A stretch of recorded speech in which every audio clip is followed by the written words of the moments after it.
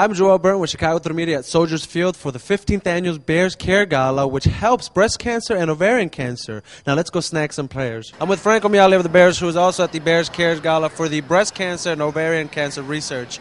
Now, how do you feel it's going to impact the research for breast cancer?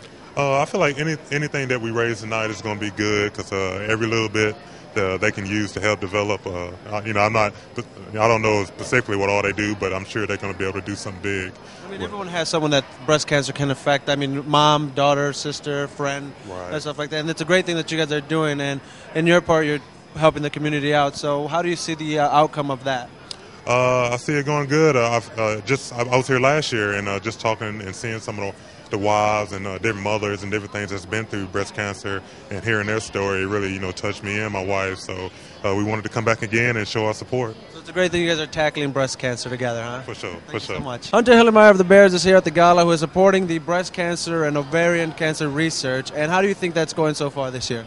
Well hopefully it's going great. I mean i think we'll raise a lot of money tonight this is such an easy way to help out you know all you do is come out and have a little fun and meet some people a lot of great people here um, and so it's a fun night all around. And it's all for a great cause. You're doing something great. I mean, you yourself or your mother, wife, daughter, whatever you have. It's, it's also it's going to affect them maybe in the future. Yeah, I mean, you um, you know, it seems like everybody knows somebody who's dealt with that.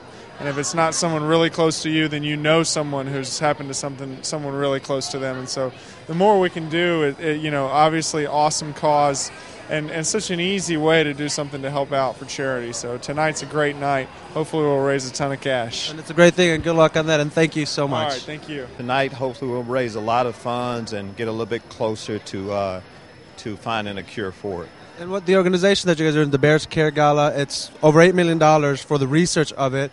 Is there a website that they can go to, just NFL.com? Yes, you can start off by just going to our website, uh, chicagobears.com. Uh, and it'll direct you, of course, to Bears Care there, and you get all the information you'll need. Thank you so much. Thank you.